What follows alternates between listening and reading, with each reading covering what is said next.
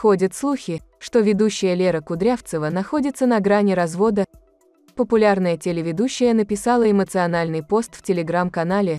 В нем она дала понять, что не потерпит никаких слухов о себе. Лера Кудрявцева возмутилась публикациями в СМИ о себе и ее муже Егоре Макарове.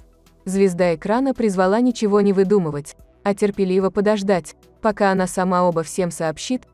Придумывают новости из ничего, выставил песню, сочинили статью, написала пост, придумали еще одну, встретилась с подругой, встретилась с адвокатом.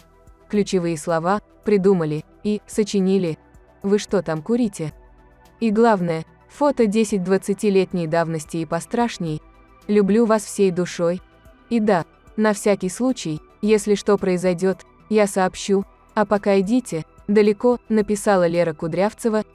Интересно, что Лера Кудрявцева не стала уточнять, какие именно новости о себе она имеет в виду, но поклонники телеведущей прекрасно поняли, что речь идет о недавних публикациях о разводе Леры Кудрявцевой с хоккеистом Игорем Макаровым.